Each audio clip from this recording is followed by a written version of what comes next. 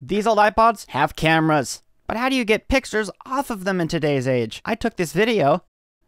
You can't zoom in, such primitive technology. But how do you get those pictures off the ancient device onto the modern device. And no, airdrop wasn't a thing yet. Uh, low battery. The simplest way to do it is plug it in with one of these thick boys. Open image capture on your Mac, Breeze iPod. Apparently that was the old owner. Please unlock the iPod. It already is unlocked, you stupid. With this old of a device, talking to a modern computer, it's gonna have challenges. Off on. It's still telling me to unlock it. Not always as straightforward as you think. Time for an old Mac to take over. Do the same thing, except just on a MacBook from 2009. Import those photos. There they are. So if you have one of these old iPods and want to take some pictures on it for fun, you may need an old Mac also.